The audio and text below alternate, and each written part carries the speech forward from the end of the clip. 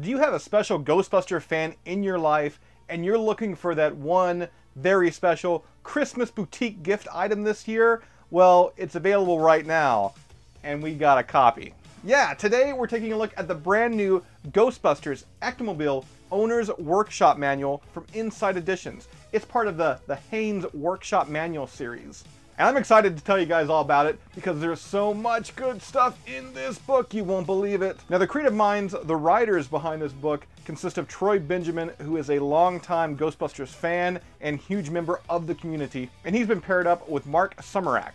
Along with that, there's going to be illustrations inside, and those illustrations are going to be by Ian Moores. Now, before I crack this open and give you guys an inside peek, let me tell you this book is 150 pages thick. The first 100 pages are dedicated all to the original Ghostbusters, Ghostbusters 1 and Ghostbusters 2, both theatrical films. And it doesn't stop there. If you're a fan of last year's reboot, Ghostbusters Answer the Call, there's about 50 pages dedicated to that as well. So no matter if you're just an original fan or if you're a fan of both, this book, it, has got something for everybody. So let's tear it. Oh, oh, beautiful green, just slime. Now, one of the first things you're going to see when you pop open the book is an introduction by Dr. Raymond Stantz. The introduction is well written and full of excitement, exactly what you'd expect from Dr. Ray Stantz. I especially love this rare shot of Dan Aykroyd on the left-hand side. The first piece of equipment we're going to see is, of course, the classic Ecto-1. And I must touch on the fact that uh, not only is there a beautiful illustration here, it also touches on what all of these pieces on the vehicle are. Uh, this is actually really cool too because a lot of the fan-made or I guess the fan named pieces that are on like the Ecto 1, on the Proton Pack, they're actually kind of canon now because of this book. And speaking of canon, this book is like 100% in character. It's not like Ghostbusters was a movie made in 1984. This book is written like Ghostbusters was 100% real. It's not a movie, it's like an actual thing. God, that'd be an awesome world to live in. Speaking of those characters, Peter, Ray, Egon, Winston, uh, there's actually little post-it notes all throughout the book here where they kind of give their two cents on the Ecto-1 and, and other items that they're talking about within the book. And the writers did a great job on these because it really taps into each character's individual personality. Now the Ecto-1 is a huge feature in this book. They talk briefly about the history of the vehicle, details about the logo placement, lighting, the roof rack, heck, even the interior. Really, every single square inch is covered. Heck, even the red thing that sits on top of the Ecto-1 known as the sniffer it gets its own two pages. Now after the Ecto-1, we switch gears to the Proton Pack, including a detailed breakdown of all the pieces on the pack and wand, along with high quality images of the pack in action. And once again, all those names and terms that fans have been using for years, they're totally in here.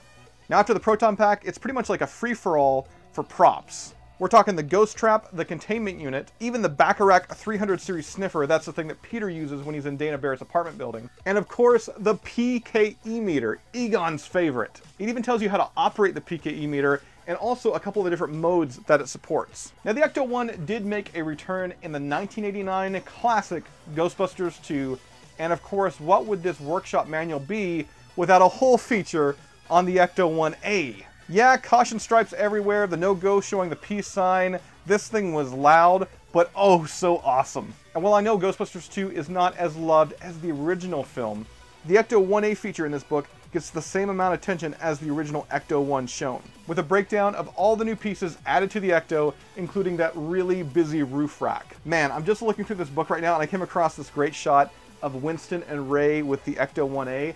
I, I don't think I've ever actually seen this one before, there is some really cool gems inside this book. Hey, quick question. You like slime? I hope you like slime, because right now we're going to be taking a look at slime blowers. I know I'm saying this a lot, but once again, we get a full breakdown of the slime blower. I mean, we're talking the tank, we're actually talking the, the actual slime blower, like gun with the nozzle and the slime and air input LED indicators and the rotating air valve handle and the bicycle grip. I love this book.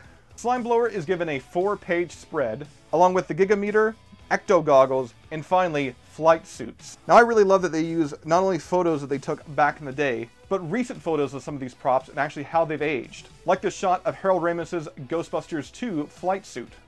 Now, when it comes to Ghostbusters, and it comes to films, there's one more Ecto that we've not touched on yet, and that is, of course, the Ecto 1 from last year's Ghostbusters reboot, Ghostbusters Answer the Call. Yes, inside of here, the brand new Ecto 1 gets more than 20 pages of coverage with factoids about the vehicle itself, what's on the hood rack, what's inside the car, and heck, they even talk about that super awesome little Ecto 1 ghost hood ornament. Ghost hood ornament, you the real MVP of Ghostbusters 2016. I love this thing. I also love this thing.